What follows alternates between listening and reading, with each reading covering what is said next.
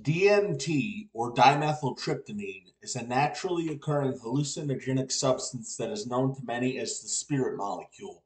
This title is derived from the writings of Dr. Rick Strassman, a psychiatrist whose seminal work sparked noteworthy societal interest in DMT. DMT is released by the pineal gland, a structure at the center of the human brain. Centuries ago, the French philosopher Rene Descartes asserted that the pineal gland is the seat of the soul. This gland is located within a neural structure known as the epithalamus, which is located in the diencephalon. DMT can be found in every ecosystem. It is found in plants and animals and can even be extracted from grass.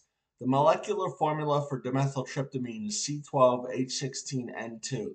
This means that for every molecule of DMT, there are 12 atoms of carbon, 16 atoms of hydrogen, and 2 atoms of nitrogen. DMT is released during the dream state and right before human death. There are different types of DMT, including 5-methoxy dimethyltryptamine and NN-DMT.